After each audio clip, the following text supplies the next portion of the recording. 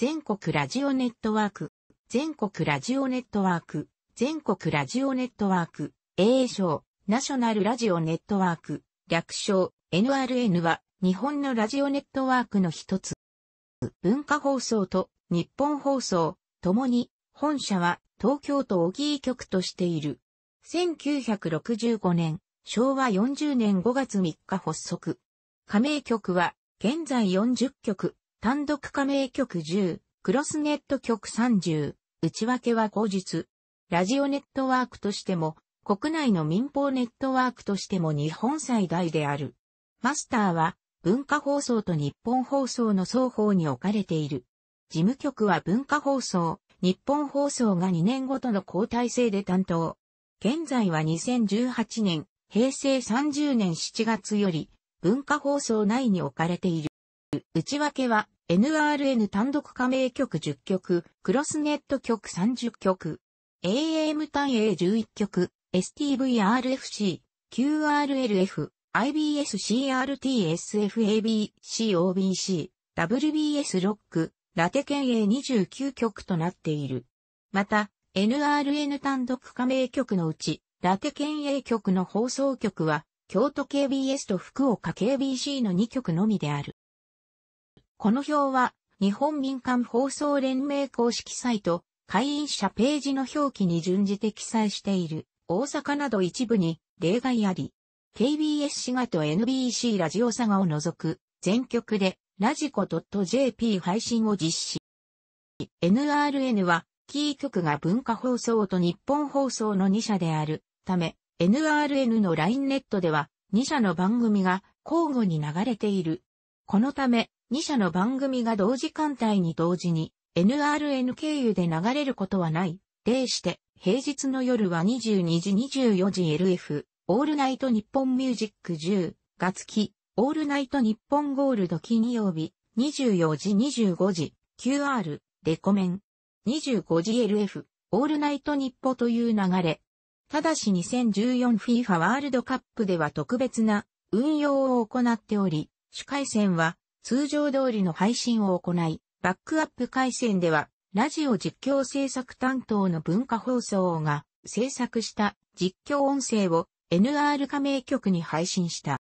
NRN には、LINE への番組送出が可能な設備を持つつぼねが10社、東北放送、文化放送、日本放送、静岡放送、東海ラジオ放送、大阪放送、朝日放送ラジオ、毎日放送、中国放送、九州朝日放送存在する。この10社を指して、機関局社団法人とする場合もあるが、公式には明らかにしていない。なお、この LINE 送出機材保持者には在北海道の2社が含まれていない。現実的には、LINE 送出機材保持者と在北海道の2社、北海道放送と STB ラジオが、機関的な存在、立場と見ることが自然。兵庫県のラジオ関西は1978年、昭和53年まで加盟していたが、プロ野球の巨人戦中継放送権利の問題で除名処分を受け、独立局になった。ただこれにより NRN との関係が完全に途切れたわけではなく、現在は在阪3局で放送されない番組を番組販売購入の形でネット受けしたり、NRN ナイターの CM だけスポンサードネット、レコメンウォールナイト日本例の同時ネットを行っているなど、NRN との関係は現在も続いている。詳細は該当記事や発端となったラジオ日本ジャイアンツナイター JRN、NRN と関係の項を参照。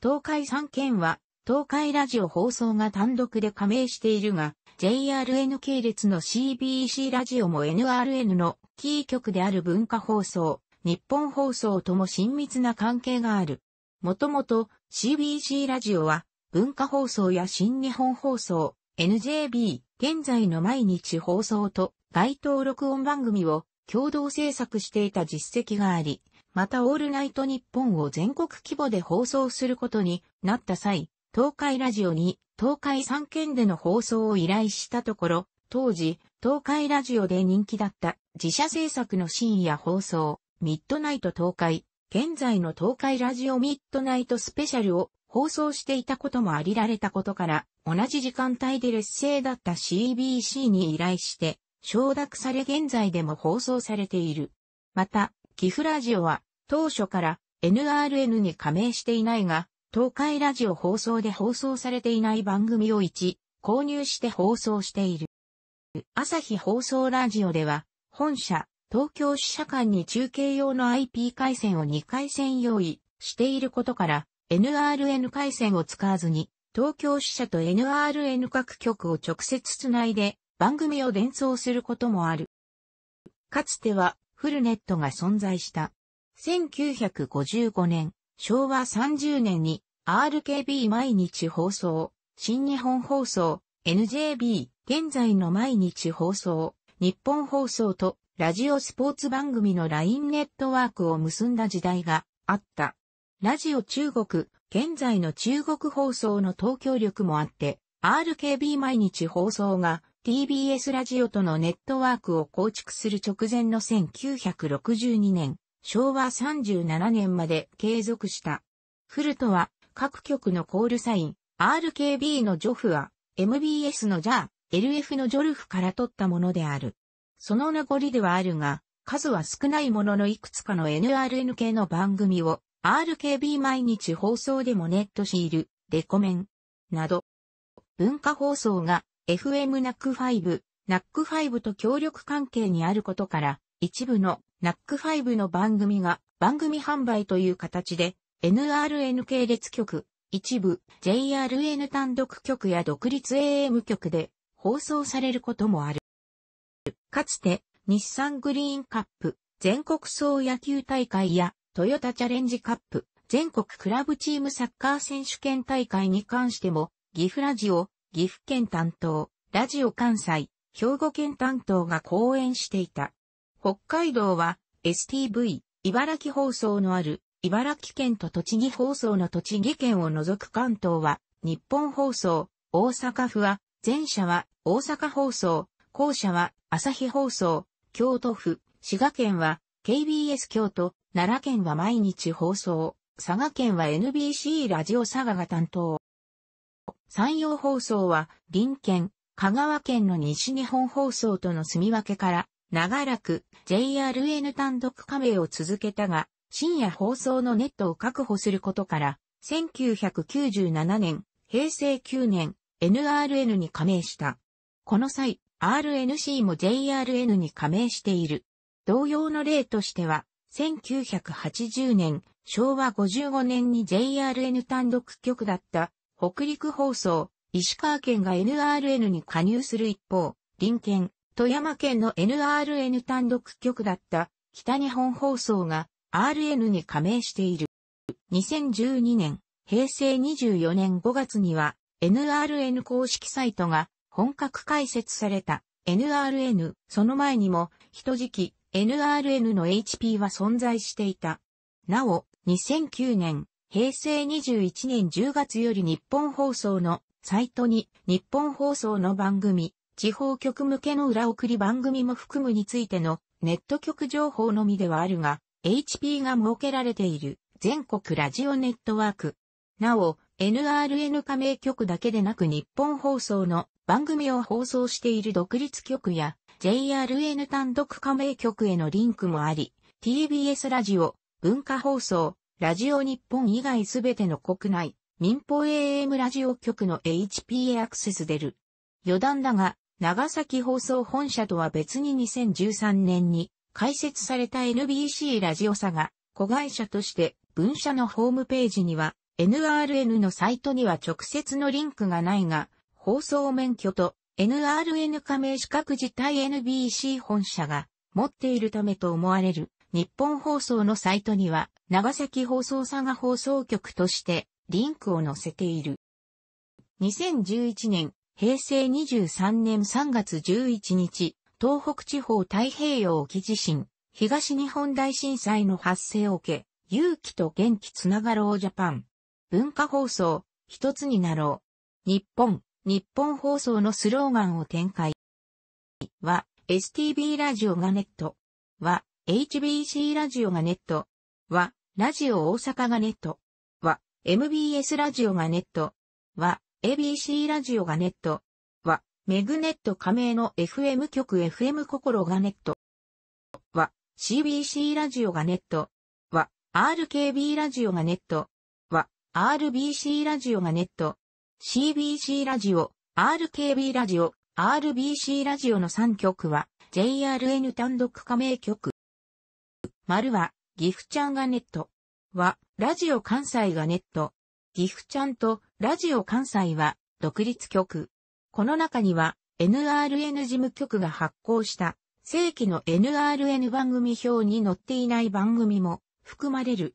かつては文化放送のタイムテーブルで確認することができた。2016年10月現在は NRN 公式サイトのトップページで参照できる。なお、地域によってはブロックネット、特定地域の放送局に向けた番組もあるが、大半の放送局は NRN、JRN クロスネット局であり、事実上 NRN、JRN 共同ブロックネットという位置づけでる。原則として報道番組は文化放送をキー局として放送される。北海道は STB ラジオ、大阪はラジオ大阪がそれぞれ担当する。選挙報道や年末番組、マイクの1年などの特別番組も同様である。なお、JRN は大阪では MBS が担当しており、ABC はニュースネットワークとしてはどちらにも関わらない ABC ニュースも参照。ただし、おはようネットワークやナイターオフ時の19時台、2014年度以降は今夜も音パラは日本放送がキー局となる。なお、ナイターオフ枠では2013年度以降定時のニュース枠は関東ローカル枠のみの設定となっている。